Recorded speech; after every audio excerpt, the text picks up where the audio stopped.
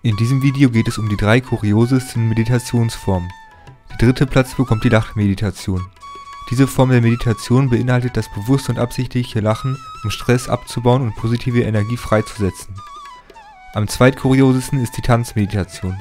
Hierbei wird Meditation mit Bewegung und Tanz kombiniert, um Achtsamkeit und Selbstausdruck zu fördern. Am kuriosesten ist die Osho-dynamische Meditation. Diese spezielle Meditationspraxis beinhaltet fünf Phasen, die Schreien, Tanzen, Hüpfen, Stillsein und, und Liegen beinhaltet. Es ist darauf ausgerichtet, Energieblockaden zu lösen und ein Gefühl von Freiheit und Ekstase zu erleben. Welche ist deine Lieblingsmeditation? Schreib es in die Kommentare. Wenn dir dieses Video gefallen hat, dann lass doch gerne ein Abo und ein Like da. Außerdem kannst du hier noch weitere Videos angucken.